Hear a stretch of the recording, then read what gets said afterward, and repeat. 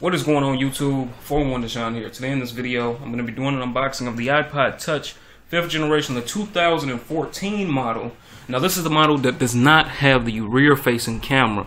But besides that, it's, it's exactly the same as the 2013 model. It just does not have the rear facing camera, but it still does have the front facing camera. Now before I do this unboxing, since it is an unboxing, let's go over some of the specs and let's read the packaging really fast.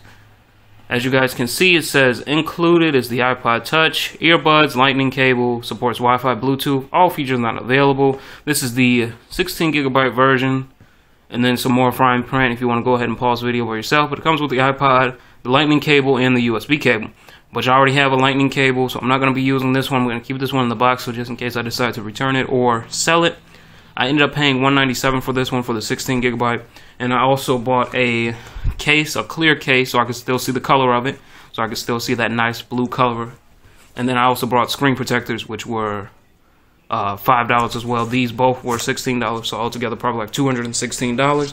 But let's go ahead and unbox it. It has a four-inch Retina display that we all know and love. Some of us love it, some of us hate it. Some of us say it's too warm. Others say it's just right. Some say that it's the perfect display. This cat will get out of here. Let's go ahead and we just peel this sticker off. Alright, I don't think I did that right, but it is what it is. Peel that sticker off. Cat's just gonna be in here all video. We'll go ahead and pull this flap down. And then I like on this iPod, it's the actual aluminum back. Oh. What? What? what? Oh my god. Did I buy? Oh my god. I think I may have just got away.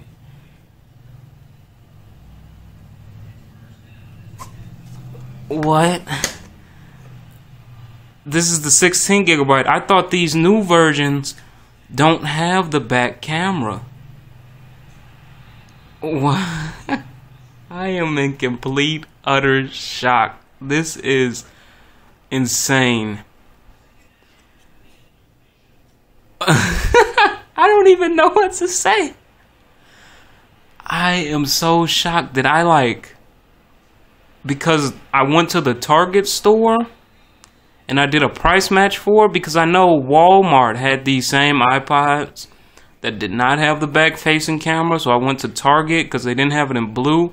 So I went to Target and I really do think that I just got this iPod because it's a 16 gigabyte version. I thought the 16 gigs were not supposed to have the back camera or or uh, I, I'm so confused right now.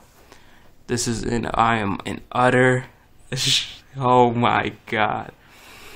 So it does have the back facing camera, which is the iSight 5 megapixel camera, the Wi-Fi cutout, the aluminum backing, the blue trim. As you guys can see, I got the nice blue. It's a really nice blue. I'm glad that I was able to find this clear case as well. This was a clear case from um that I got from Walmart for five bucks. So I mean, I'm really gonna like that having the having to be able to see the blue and still protect it at the same time. But anyway, with my utter shock and complete utter just not even knowing what is going on right now. Here's four point inches, retina display, front facing camera. Let's go ahead and dig some more into the box. You guys already know I have a full review of this for you guys. Uh, in the front it says iPod Touch, and then we have the cable lit up. We have these, which are the earpods, which I'm not even going to use these because I already have some earpods that my mom uh, let me use from her iPod. So we're just going to put that back in there. And then we also have the lightning cable, which like I said, I'm not going to even open that up any, open that up either. We're going to keep all this stuff nice and neat in the box. Keep all this stuff nice and neat in the box. There's probably some Apple stickers in here as well. But I have a ton of those. You can order those off eBay, offline. But we're just going to close all this stuff back up and put that on top of it when we're done with it. But let's go ahead and get to the actual iPod, something that I am going to be using. So in order to get this off, I have seen, uh, I want to go ahead and let this focus. Okay. Now that it's focused, uh, let me see, I'm pretty sure you just like, I don't know if you peel the sticker off first.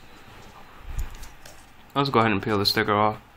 And then I think once when I peel the sticker off, that'll release this flap that I can just pull back on and then yep it all comes off like this. So I can just pull this sticker off and still leave that perfectly on there. So I can go ahead and put this in here. Now what I wish that they would have did oh my this is like super duper light. What I wish they would have did is kept it to where um to where you still have a black screen instead of a white screen. I mean I'm really not a huge fan of the white. It looks nice but I'm still really not a huge fan of it but Anyway, here it is, the nice blue aluminum backing. And on the front, you got the Apple logo, the touchscreen display. And here it is, booting up for the first time. It has the A5 dual core processor in it. Here it is compared next to the G3.